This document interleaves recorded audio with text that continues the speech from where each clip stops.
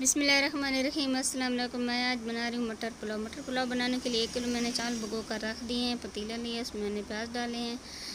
माशाल्लाह से प्याज मेरे ब्राउन हो गए हैं। लहसुन, अदरक का पेस्ट डाल दिए है। मसाला डाला है। टमाटर डाले हैं।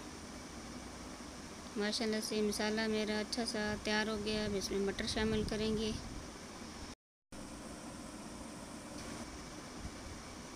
एक किलो चावल के लिए मैंने चार गिलास पानी डाले हैं।